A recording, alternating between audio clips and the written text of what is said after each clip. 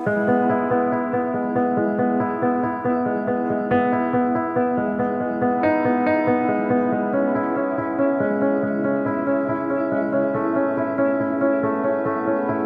my beautiful wife, my life. The first time I saw you,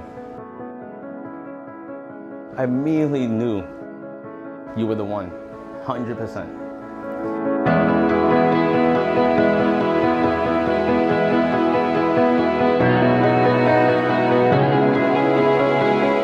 Fu, I love you. It still feels like yesterday when I just met you and my YOLO instincts told me it's okay to get into a stranger's car after midnight. It's been one hell of a ride, like John said, with you, but I don't ever want to get off.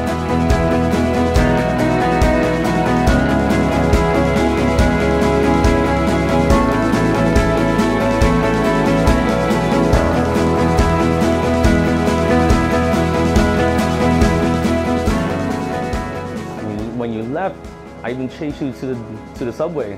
I had to I had to talk to the MTA worker to help, like let me hop that, hop the turnstile just so I could tell you how I felt.